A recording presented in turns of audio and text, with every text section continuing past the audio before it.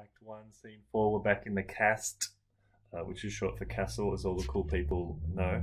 Uh, so we've got King Duncan, he's the king, Lennox, who cares, Malcolm, Donalbain, and attendees. Mm, interesting. Uh, basically, Malcolm says, Yep, cool. Uh, the Thane of Cawdor, uh, he went crazy and we we've killed him, so that's good. Uh, and then Duncan says, in a nice little piece of foreshadowing, there is no art to find the mind's construction in the face. He was a gentleman on whom I built an absolute trust, which I feel like has been quoted somewhere else because it sounds really familiar to me, that last line. Uh, but that's basically Duncan being like, well, you just can't tell a good guy from looking at their face. I thought the old Thane of Cawdor was a good bloke, but it turns out he was a treacherous sod, and we have since killed him.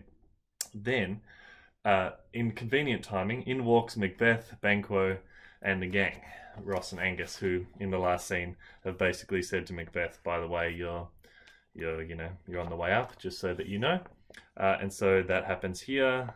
You know, congratulations, you're the thane of what's going to call it, Glamis, Cawdor rather. Glamis was the old one that he already was.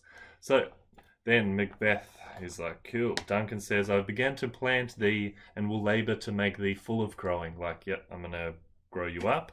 And then Banquo's like, yep, there if I grow, the harvest is your own. So he says, like, yeah, totally. It's all, all you, mate. All you. You're the boss. Uh, Duncan says, My plenteous joys, wanton in fullness, seek to hide themselves in drops of sorrow. So, like, he's so happy that he's sad and contrast, juxtaposition, all that stuff. Basically, then he says, And my son will be the man. So, our eldest Malcolm, the Prince of Cumberland, will be my heir, will be the next king in, king in line. And this is kind of like the famous moment from Australian politics when uh, Scott Morrison said, Any leadership ambitions? Me? Yeah. This is my leader. There you go. And I'm ambitious for him. uh, "This is my leader, and I'm, uh, you know, I, I'm am, ambitious for him." And then the very next day, um, uh, stabbed him in the back. Whereas in Macbeth, he actually stabs him in the front, uh, and it's not a metaphor. So Macbeth says, "Star, stars, hide your fires. Let not light see my black and deep desires." So he's like, uh, quite clearly that when the king says, "Prince of Cumberland, my son," who is of course Malcolm, I say, checking the text. Uh, he's the next one in line. Macbeth is sort of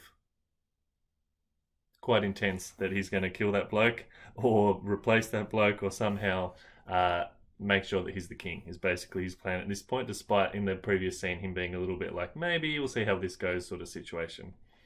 Duncan finishes off, True, worthy Banquo, he's full, so valiant, and his commendations I am th- fed. It is a banquet to me. Let's after him, whose care is gone before us, bid us welcome. It is a peerless cling- kingsman. So it's just like, wow.